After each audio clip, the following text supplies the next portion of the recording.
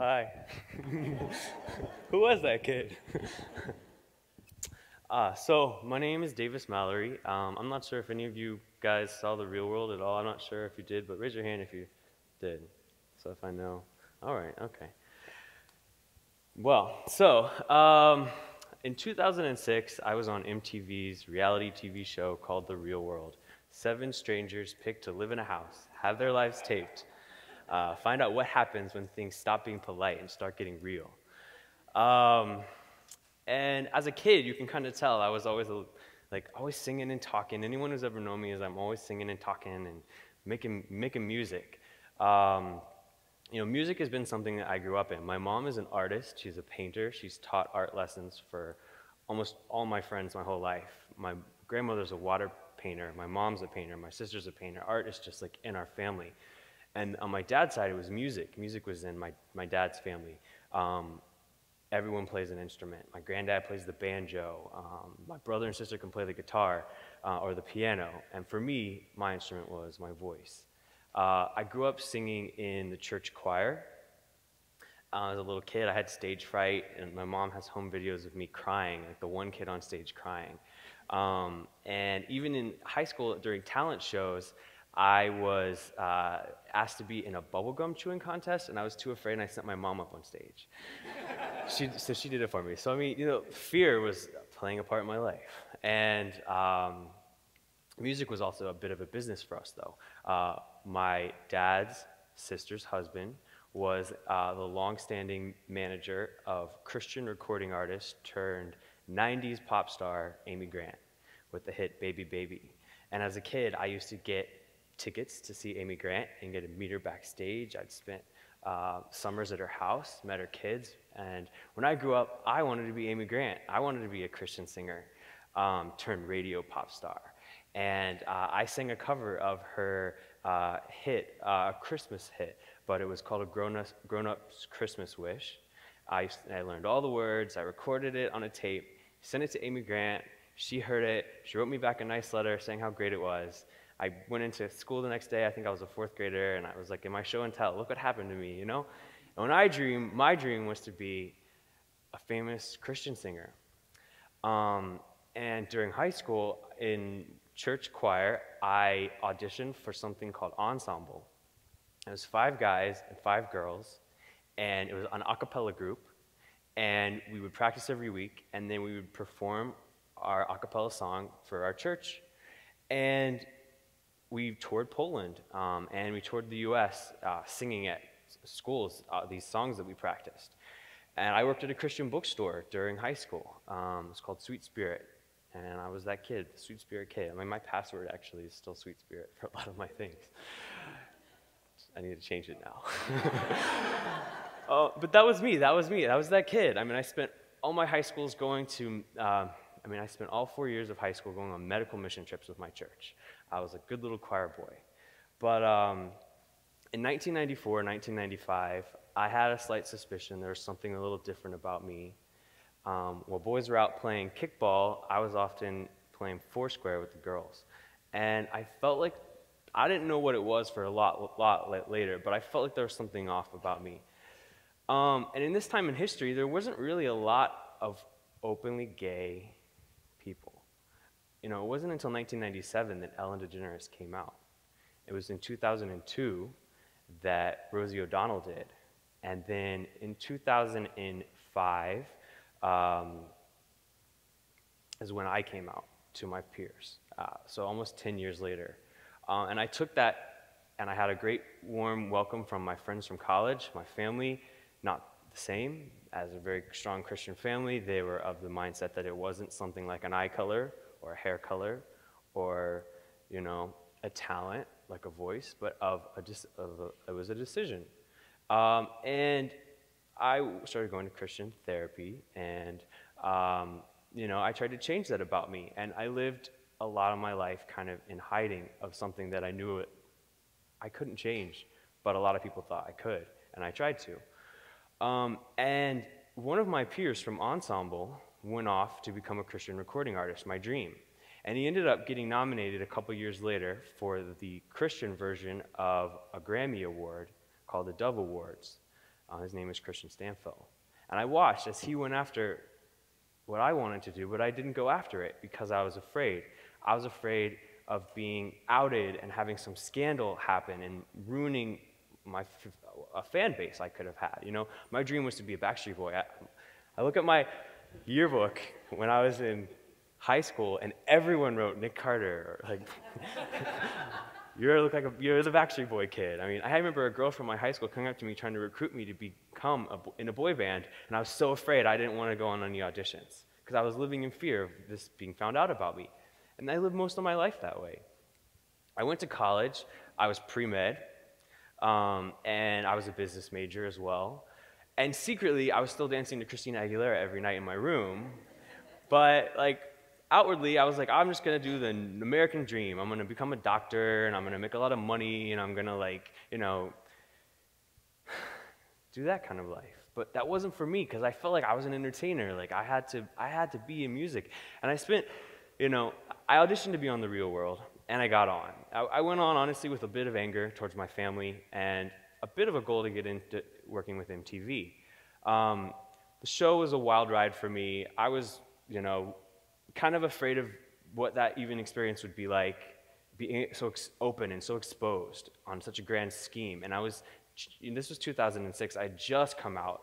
Um, and so, you know, I, I, that, I, and then I found that my greatest success was being on a reality TV show, which wasn't what my potential was. You know, I was smart, I was talented, and yet all anyone ever thought of, I lost my last name, by the way. My last name was from the real world because I, everyone would walk around like, is that Davis from the real world? Davis from the real world? Davis from the real world? And I felt like that was who I, my identity was. And, uh, you know, I, I spent a lot of time wondering, like, maybe I should have gone on auditions for American Idol or X Factor instead. Like, that would have been maybe putting me more in line with where I want to go with my life. And when I finally met the producer, and I think people think the producer of the real world is always in the day to day aspect of the show, trying to tell you what to do. You wake up, there's a script. It's not like that. You wake up, there's a cameraman right in front of your face, and as you're walking to go brush your teeth, he's following you in front of your face. And when you want to go and get the groceries or somewhere, they're walking backwards with you. And, and we, were, we were doing outward bound excursions, and so we had these amazing gurus of guys, like as we were walking up mountains. They're like walking up mountains with us, and we feel bad for them.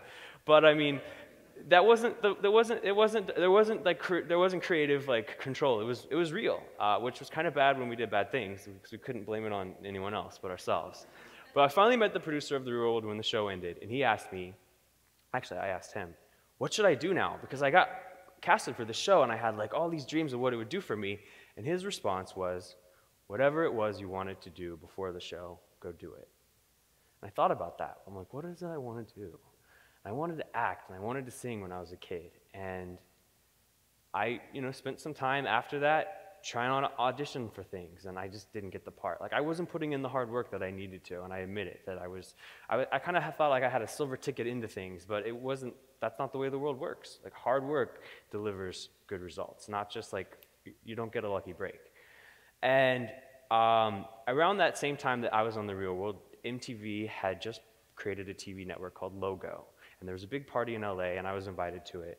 And it was all the, at that time, kind of like gay celebrities. The cast of Queer Eye for the Straight Guy was there, and Queer as Folk, and Lance Bass, and like anyone else of that time period. And I got to meet the president of MTV named Brian Graden, who famously found South Park and put it on air. And he asked me, What is it you want to do now that you've done the show? And I said, You know what, sir? I've always wanted to be on or work around MTV. So he lined me up with a set of job interviews. I came to New York. I interviewed at the talent department. I interviewed at the music video programming department, news and docs, and then I interviewed at Logo. And I left New York without a job, and I felt defeated. I either wasn't qualified, there wasn't any openings, or, you know, it just wasn't in it for me. And I felt really defeated. And I went on for the next couple years doing normal jobs. I worked at a bank. I worked in medical sales. I worked at IBM in consulting. And meanwhile, I felt like this was probably a great path for myself. Like I could have a nice car and I could, you know, have a family and do this kind of style of living. But it wasn't for me. I felt like there was something better for me. I felt like I knew the only way I would be able to live this life and be happy with the way I lived is if I was living it with like performing and singing and acting and doing things that as a kid was like in my blood and was in my dreams. But this like America's like climate towards being gay had kept me from going after it. And, you know, and a lot of things changed in the next couple years. You know, we in you know 2010 was when Ricky Martin came out. In 2012 was when Frank Ocean, the first R&B singer, stepped forward and came out. You know, in 2013 is when Jodie, uh, Jodie Foster came out, and then we had the repeal of DOMA. And I realized that America's just still right in the middle of historical changes, and I have this kid that's just trying to figure out where I fit into the puzzle piece of it all. Um, I started writing a music blog, had like five readers for a little bit and I would go to all these shows and try to be at the forefront of music and just digesting things, finding out about artists like Marina and the Diamonds and Ellie Goulding, like a long time before they became big artists. Um, I was at a music festival and I met a girl who recognized me from the real world and asked me what I was doing today. And I was like, well, you know, I love music. I write a little music blog. And she was the female voice for a website called After Ellen. And there was a male website called After Elton, both owned by Logo. And she said they were looking for a male writer.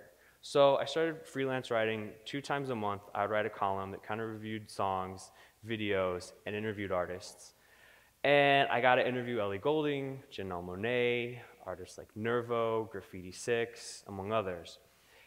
And then I started interning for free at a booking agency called the Windish Agency. And I came in and created a tour for an artist, which was cool because it often turned into the real tour the artist would go on. They were kind of these tours you would make to let them get a visa and come to America. And after these experiences, I was like, I'm gonna go back to New York. I'm not gonna let that first round, like, you know, get me down. I heard about all these stories where it's like, you know, people that stay tried and true and keep persisting make it. So I went back and I set up a two week stint of job interviews one at Sony Music, one at EMI Music, one at Vevo, one for a publicity company called the Karpel Group, and one for a management firm. And I set another week up in LA, and I was going to go and interview at Interscope, and I was going to go find Robin's manager was a friend of a friend, and I was networking, you know, and I was like, I'm going to go get, some, I've got to make this happen for me. Like, I can't do what I'm doing anymore. And I came to New York, and I got offered the position of the president of Astralwerks Records assistant. And for the last two years, I have worked at a record label that I dreamed of when I was working at that Christian bookstore in high school of one day having this opportunity for myself. And it has been nothing short of fulfilling. There's been moments where I've cried when my boss has said something to me out of joy that this was happening because it felt so fulfilling. The night that Swedish House Mafia sold out Madison Square Garden, and I was only a few months in on the job, and they were this big, big act in America. Everyone was buzzing about them. They were the biggest EDM band that was out at the moment, and they just sold out Madison Square Garden in 10 minutes. And he comes to me as his like fresh assistant, and he gives me my tickets for the night and my VIP wristbands, and he goes, "Are you ready tonight, kid? It's your first big show." And I still remember he walked away, and I got so emotional and started crying. I was like, "I can't believe I'm here! Like, I can't believe this is real." And for the last two years, I've worked in the marketing meetings where they've talked about, you know, Empire of the Sun's new album is called Ice on the Dune, and the song's called Alive. Like, what's the thing that we could tie into the word alive that makes people feel alive? You know, or we've worked on the Chemical Brothers DVDs, or Kylie Minogue's Live at Abbey Road, and how it's like more acoustic and it meets a different demographic. So, like, how can we tap into that demographic? You know, it's been an amazing place for me to grow and feel and touch artists and meet artists and talk to artists. And I moved to New York City with not a lot of money, just like everyone else says, but biggest dreams I could dream of, and that tons of artists trying to do the same thing I'm doing, performing every night, going out, you know, kicking it, doing anything they can. I took DJ classes and I started DJing for free. My, my ex boyfriend's a music producer, and he's like, Kid, there's a long line of people out there who want to do exactly what you're doing, and just because you did a TV show doesn't mean that you get to do it. You got to work for free, and you got to build yourself up from the bottom and go up. And I did. I just took anything I could do. And a couple weeks ago, I DJed for the future hopeful mayor of New York, Christine Quinn. I've DJed at Pacha and Bloomingdale's and ABC Home, just like just playing my music out, being an artist, and it makes me feel so alive. And I've been working on my own music. Like, I've met so many producers here in the city, and I'm, you know, working on songwriting and working on, you know, just like being an artist. And I realized that at 29 years old, I can't tell this story as good as I could at 80. And who knows where things will go for me. But, you know, I feel like the biggest thing is, is if you look at the planet, the majestic mountains, the deep blue oceans, all the diversity of wildlife on here, someone created this place to be a place of greatness. And you can walk around New York City and you can see the extremes. You can see the bums that spent the night on the street, the drug addicts like chattering in the parks. You can see the Wall Street bankers. And it's so easy in this life to give up on your dreams and to just give in to temptations and things that are bad and become a failure. But I think that God intends for us to be great. And I want to just talk about that for you guys today. Follow your dreams and try to be great.